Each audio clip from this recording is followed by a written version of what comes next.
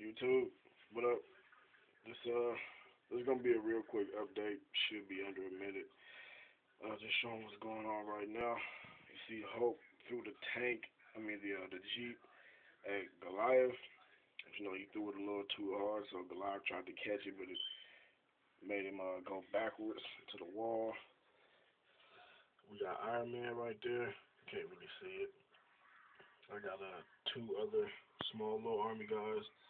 He right there blocking them, making sure nothing happened. Hawkeye up here. Just shot Hulk in the back of the leg with that punching glove arrow.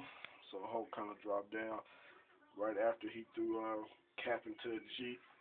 And now Thor's getting ready to come in from the back. Maybe club him over the head. Maybe uh, throw his hammer. Who knows? But